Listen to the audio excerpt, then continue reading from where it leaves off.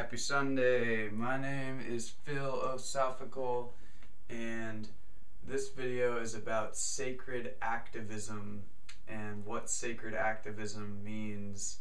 Um, I just watched this phenomenal interview with an author named um, Andrew Harvey, interviewed by this woman, Lilou Mace, on the topic of sacred activism. And uh, I'm really just feeling a lot of excitement and passion right now. My heart is racing, and I just really feel like making a YouTube video. So that's what I'm doing.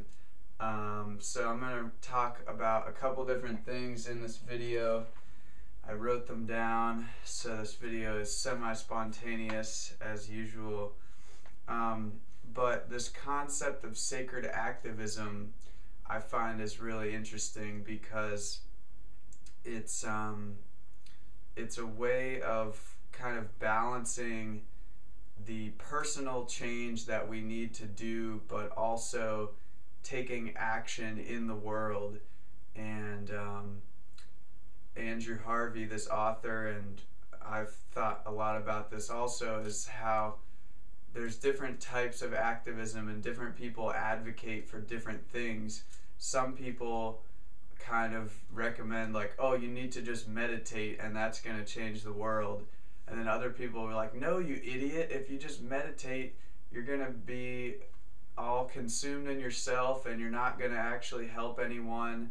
And you're probably just going to be a self righteous yogi who's eating his health foods while people go starving.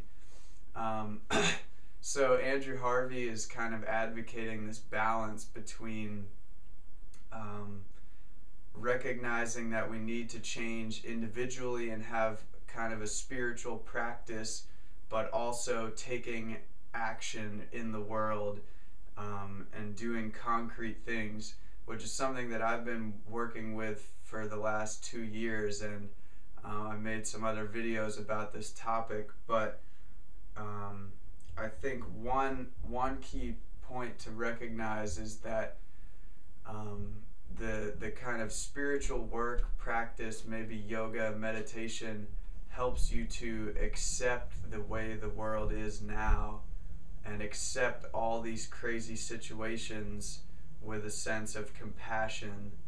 Um, but I think you, we need to balance that with a set, with we need to balance that compassion with actual passion that yes, this is the way it is but we can change it and we need to change it and there are so many people suffering for no reason and we have the ability to do these things in the world and we can make a difference.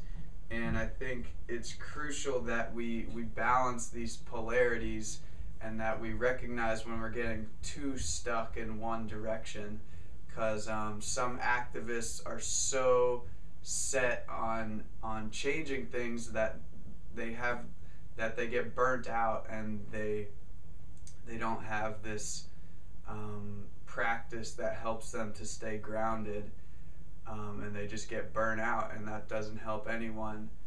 But then I, I personally sometimes get stuck where I'm just like so blissed out almost because I am doing yoga or whatever that I'm just like, okay, this is the way the world is.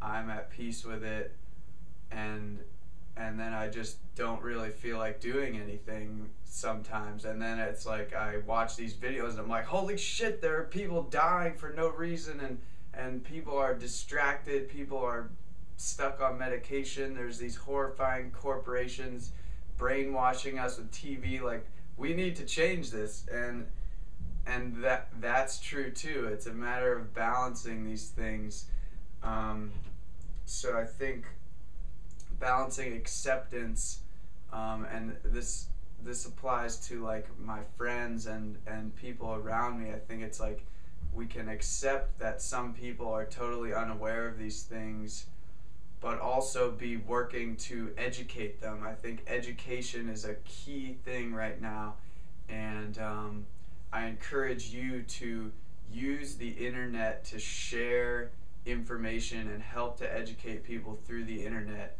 Um, I am trying to do that through my Flowetry and all these other videos.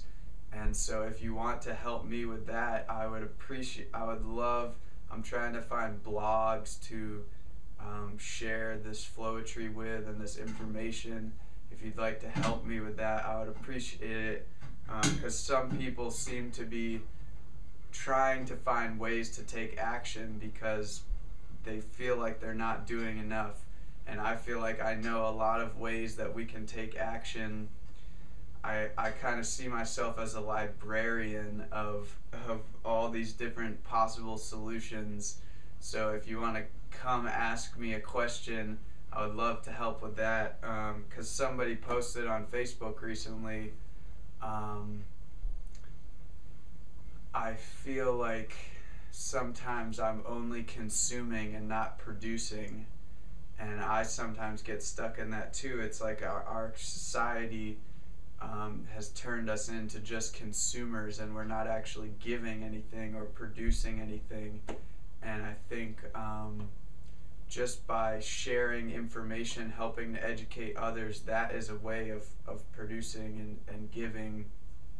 And um, I think that's that's another balance to find is giving and receiving and all the different dimensions of that. I would love to hear any any polarities that you're trying to balance in this sacred activism um, because I find it it's it's a very exciting challenge um, to to stay personally balanced but also be making a difference in your community or in whatever other sector of your life that you want to affect change in because um, they both kind of feed into each other like a big uh, figure eight i think. Um, so yeah it's it's as andrew harvey says like we need to totally take off our blinders and and look at all these horrifying situations and know that they exist um, because that is what really fuels our passion and well that fuels the passion but also the excitement and the the knowledge of what we can create so it's not that we're just saying no to something it's that we're saying yes to this other alternative um, I highly recommend Yes Magazine, by the way, which is just a magazine about all these positive solutions and news stories. Um, so, just to summarize a bit, this is sacred activism, a way of balancing this uh, this personal healing that we need to do with this um, this outward activism in the world and there's just so many different aspects to it. I think it's a really important conversation that we have. Um, and I encourage you to just engage with it and talk to the people around you. I'm really excited to look more into Andrew Harvey's book because I just kind of scratched the surface of it with this first interview. I've, I've read some of his other stuff, but I just feel so excited about this topic right now. I wanted to make this video. Um, but please share any information you want. If you want to help me share the stuff I'm trying to share, please send me a personal message. And life is beautiful. That is the real reason why I'm doing all of this stuff. Oh, and for the little ones, that's Andrew Harvey asked like what is your most motivating factor I feel like it's really for for me it's because I look at little little young kids and just like the world that they're having to grow up in our insane education system and it's like I know that I can create a better world for these kids um, and I ask you to to ponder the same thing so, have a happy Sunday. Peace, my friend.